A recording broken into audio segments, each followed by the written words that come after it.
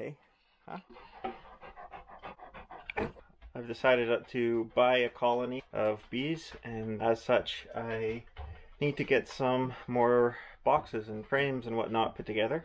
Again, from a woodworking perspective, um, you don't really want to see that.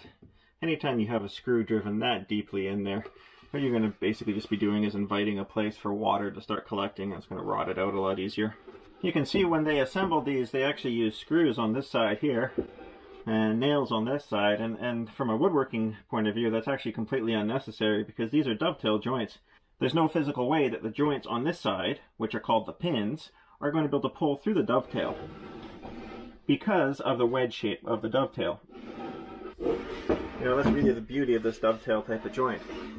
Uh, I went, with the Resilience line of paints, uh, specifically because it's very low VOC. It's almost zero VOC. You also may recognize this color, which is kind of exciting. If you know tractors, this is actually John Deere green, or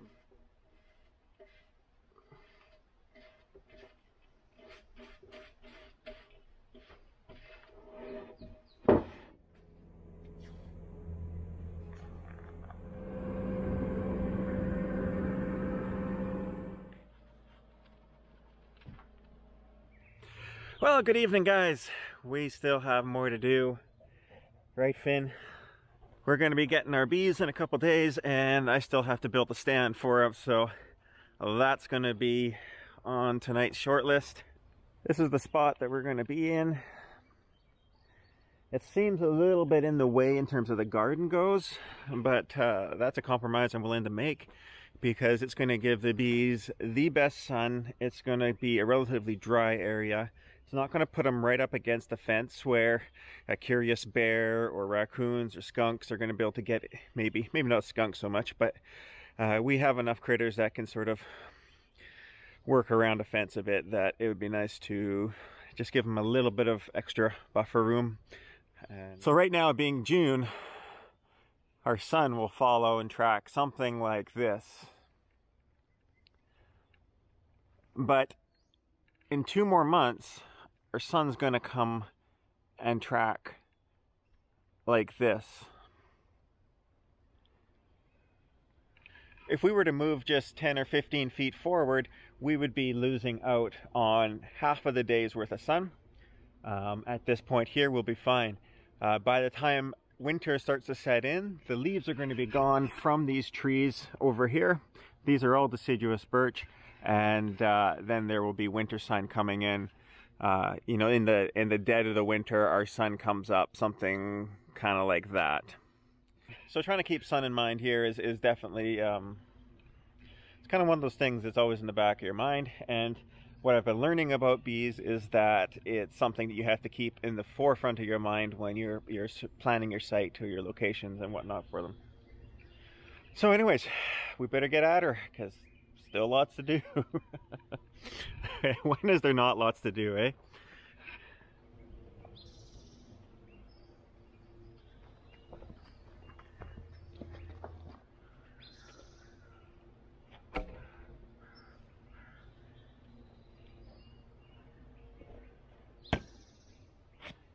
Coffee. Nothing else matters if it's not hot coffee.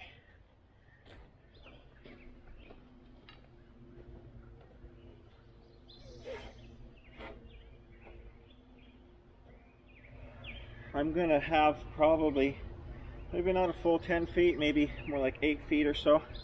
But I want to have a certain amount of bench space here so I have room to set down or move some of the boxes if I'm inspecting hives. I also want to have room where I can add two more hives. I can envision myself adding a couple more colonies at least in the not so distant future. So may as well make some space now right? I don't want to run out of space right off the bat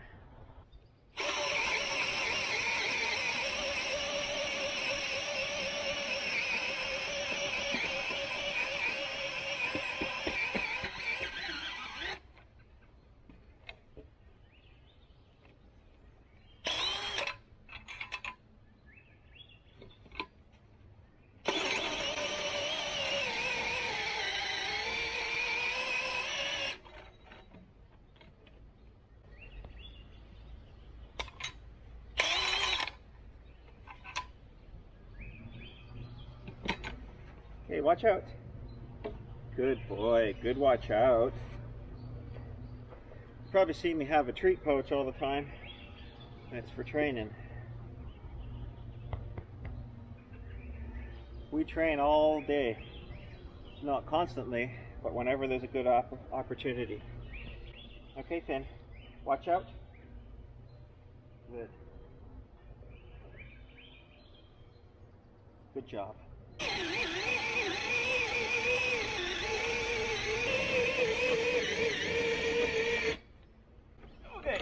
Be good.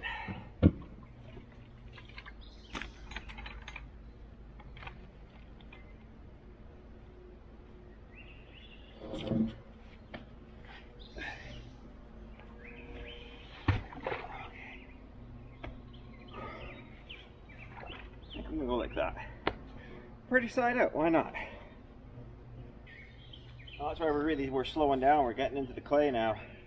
It's probably about three feet down. Frost isn't that deep here. Frost doesn't go more than a foot deep usually here. It's not that we don't get cold, but we don't get sustained cold. We might get cold for three weeks, max.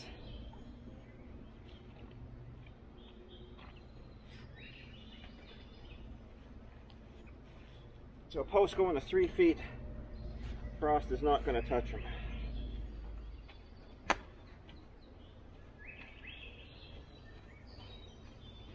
That's what you use one of these for, right? I don't know what's got the big handle on the end here for, but seems to work okay.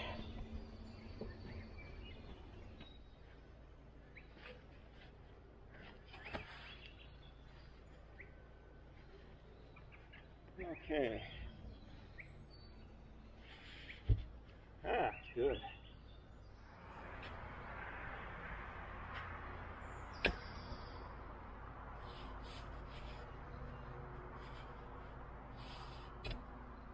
So here's what I'm thinking.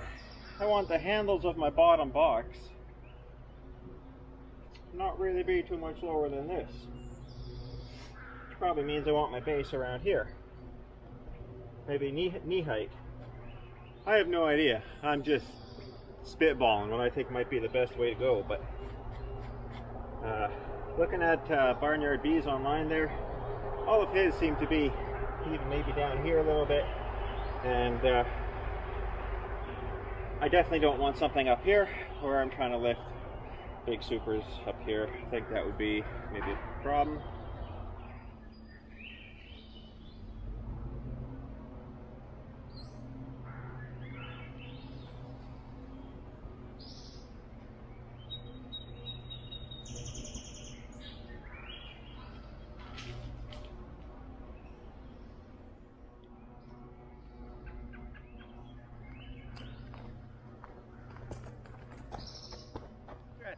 One of the joys of peat is stuff doesn't necessarily decompose.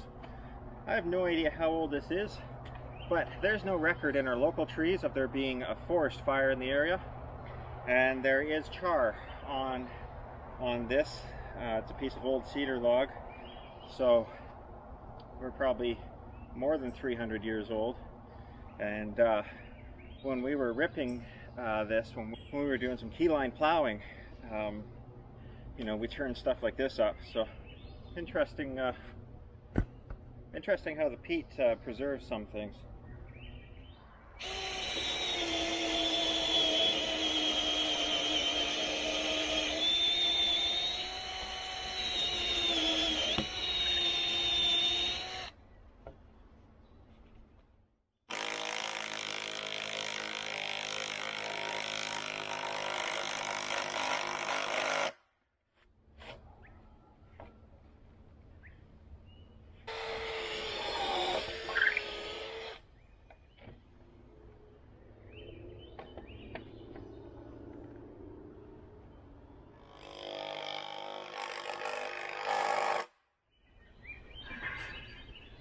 Small slant forwards.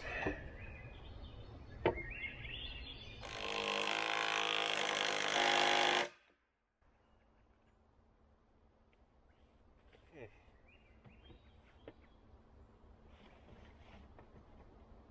Good.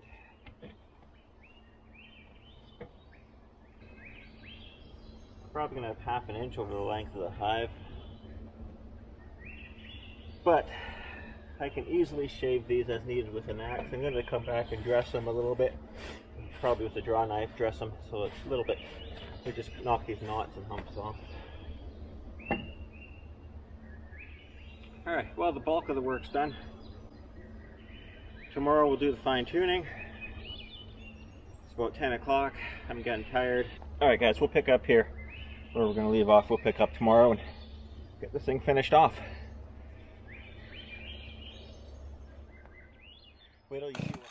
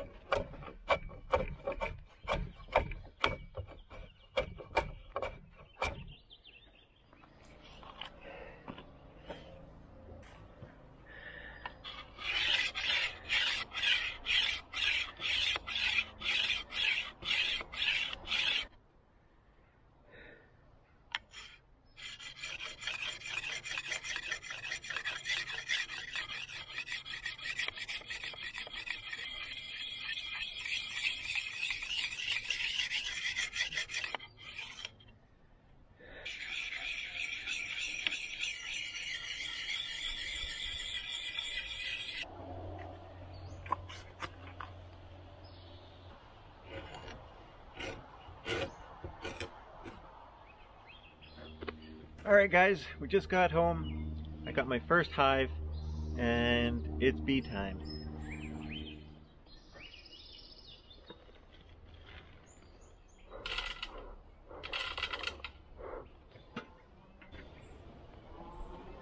There's a reason why this got left tall. So I've got this one gallon two frame feeder full to about here, so two thirds or so with one to one. There's uh, two frames of stores, one of which also has extra brood on it, and three frames of bees and brood to go in.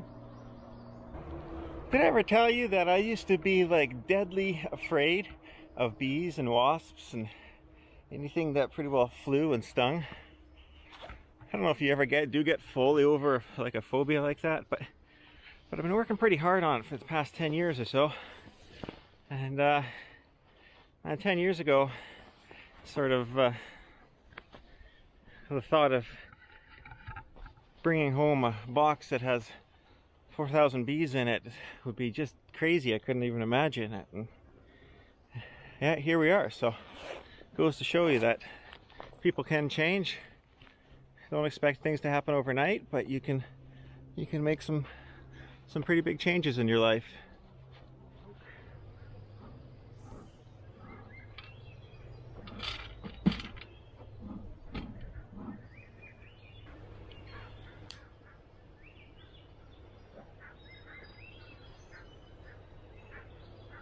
I kind of have this feeling that just ripping the tapes off is going to be something that the bees really won't like the feeling of or the sound of so I'm just going to just cut it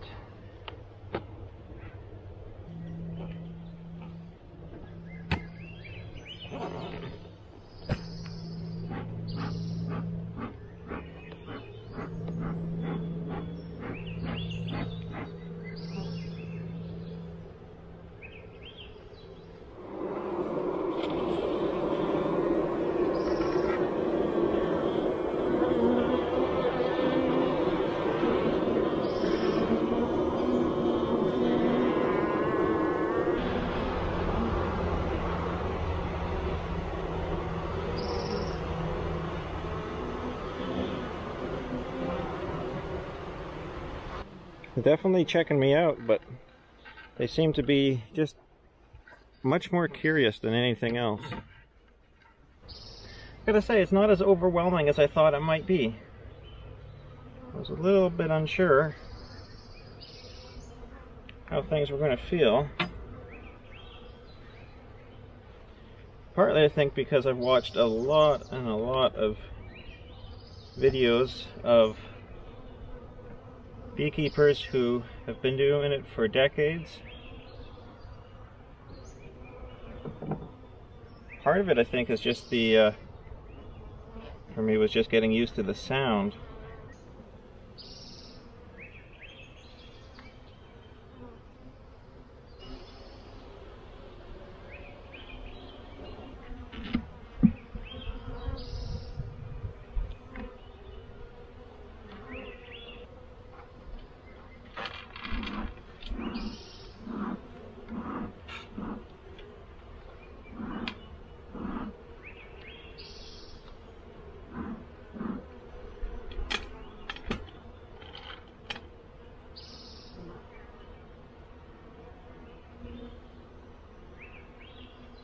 I gotta say, I'm really glad I have gloves right now.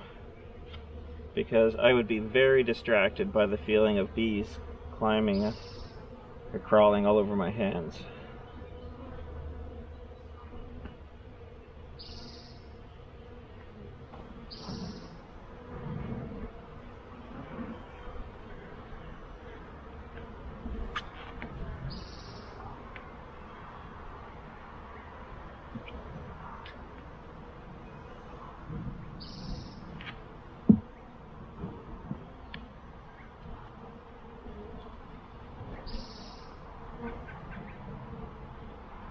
This is an incredibly heavy frame. I really didn't understand how much honey weighs. Oh, I see the queen.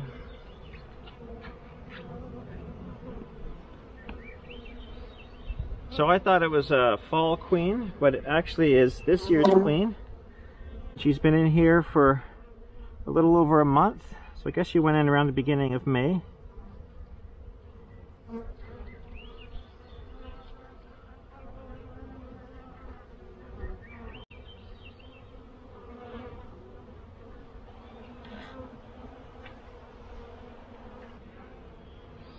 There she is.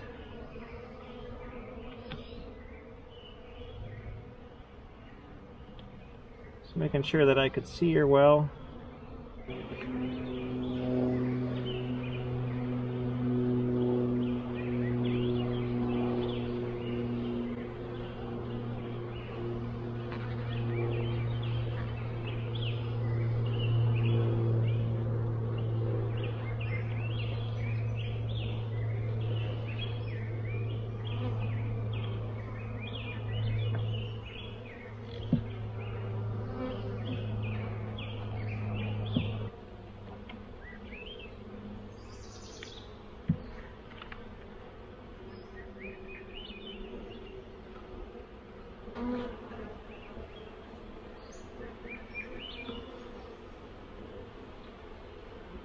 Alright, another frame of stores.